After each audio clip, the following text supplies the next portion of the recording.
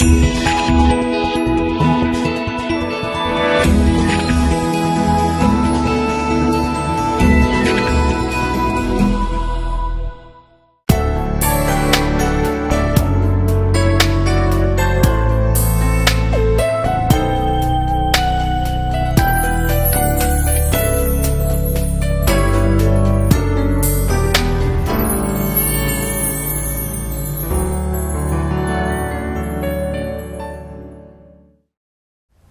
สวัสดีครับ ยินดีต้อนรับทุกท่านนะครับ อีกครั้งหนึ่งในวันนี้นะครับ เข้าสู่รายการ Living Life ครับ ผมศาสนาจารย์ศาสวัตมูลสถานครับ สิทธิพิบาล ฝ่ายคริสเตียนศึกษาคิดจักซีโอนะครับดำเนินรายการแล้วก็นำทุกท่านเข้าสู่การศึกษาพระชนะของพระเจ้าในวันนี้ด้วยกันนะครับ เราจะดูในพระชนะของพระเจ้านะครับ1ซามูเอลบทที่ 12 ข้อ 16 ถึง 25 ครับ1ซามูเอลบทที่ 12 ข้อ 16 ถึง 25 เพราะฉะนั้นบัดนี้ พวกท่านจงยืนนิ่งอยู่ และดูสิ่งที่ยิ่งใหญ่นี้ ซึ่งพระยาเวจะทรงทำต่อหน้าต่อตาของพวกท่าน วันนี้เป็นฤดูเกี่ยวข้าวสาลีไม่ใช่หรือข้าพเจ้าจะร้องทูลต่อพระยาเว ขอพระองค์ทรงให้มีฟ้าร้องและฝน และพวกท่านจะได้รู้และเห็นว่า ความชั่วร้ายของพวกท่าน ซึ่งพวกท่านได้ทำในสายพระเนตรของพระยาเวนั้นมากมายเพียงใด ในการที่ได้ทูลขอให้มีกษัตริย์สำหรับตน ซามูเอลจึงร้องทูลต่อพระยาเว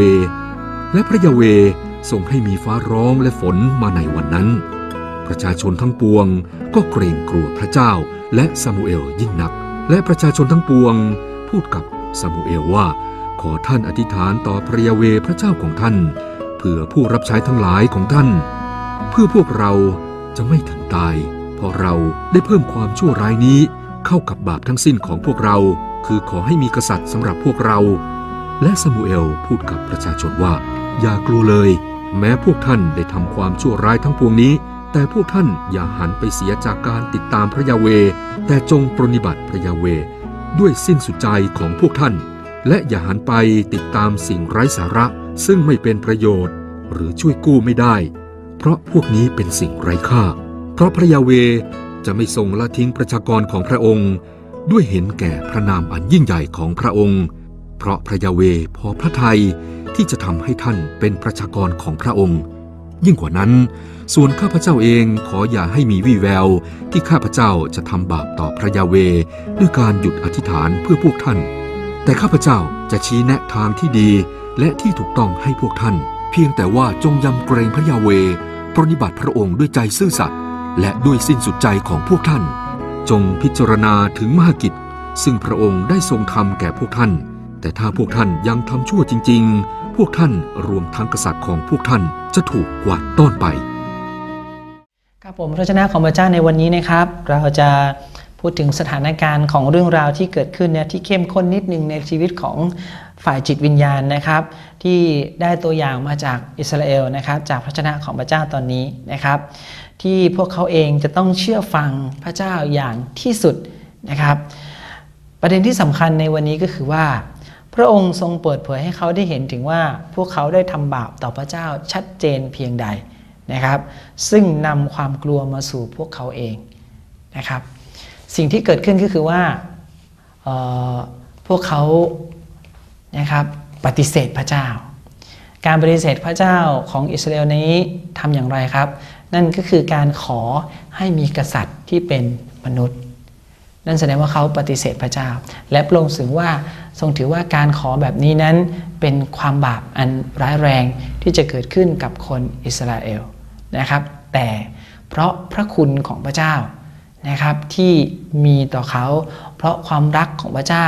ที่มีต่อความไร้เดียงสาของคนอิสราเอลก็ว่าได้นะครับพระองค์จึงทรงให้อภัย และให้ทางออกที่เหมาะสมกับเขา เพื่อเขาจะสามารถ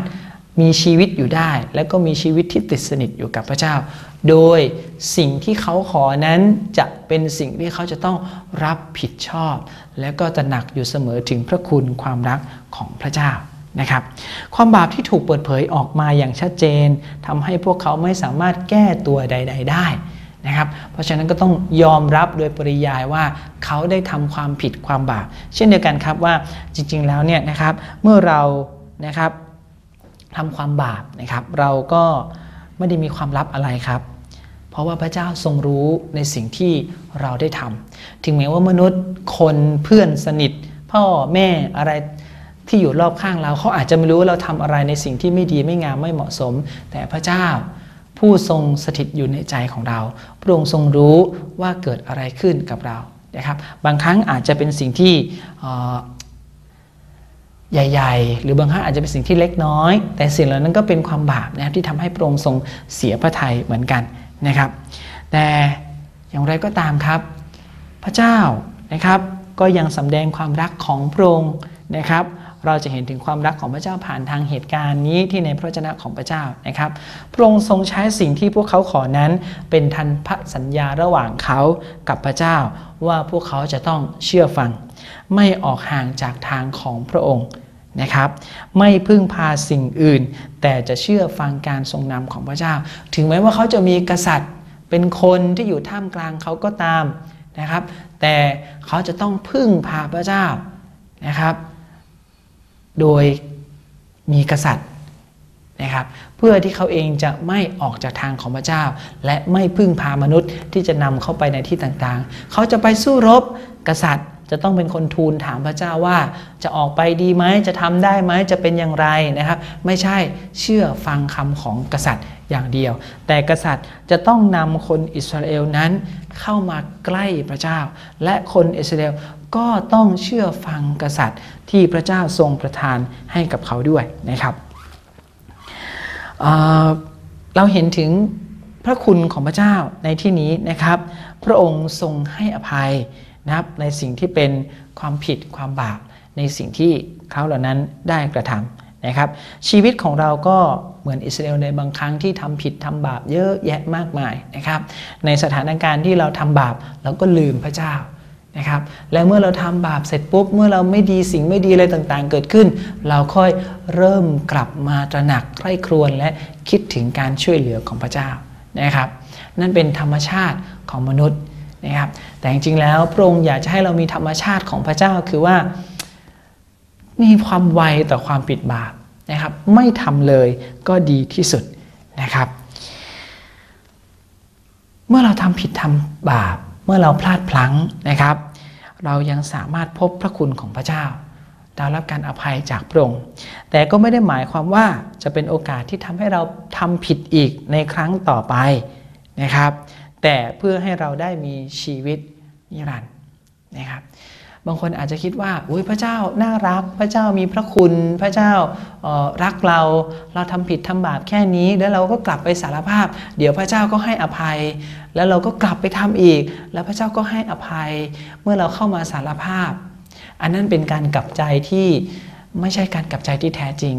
พระเจ้าก็จะไม่นับการกลับใจแบบนั้น ว่าเป็นการกลับใจที่บริสุทธิ์ใจต่อพระเจ้านะครับ ขอพระเจ้าช่วยเหลือเราที่เราจะเอาชนะสิ่งที่มาล่อลวงเรานะครับ ให้ความคิดที่ไม่ดีกับเรา ขอพระเจ้าปกป้องเราจากสิ่งชั่วร้ายต่างๆ เหล่านั้น แต่ถ้าเราพลาดพลั้งไปจริง ๆ และมีหัวใจที่สำนึกในความผิดความบาปก็ให้เรากลับมาหาพระเจ้า สิ่งที่แสดงถึงความจงรักภักดีต่อพระเจ้านะครับ คือการที่เราได้ตั้งใจจริงในการที่จะปฏิบัติพระเจ้า ด้วยความซื่อสัตย์ของเรา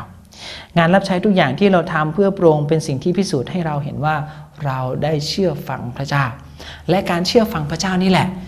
นะครับ จะทำให้เราไม่ไข้เขวออกไปทางใดทางหนึ่ง นะครับ แต่การเชื่อฟังพระเจ้าจะทำให้เราได้ได้ยินพระสุรเสียงของพระเจ้า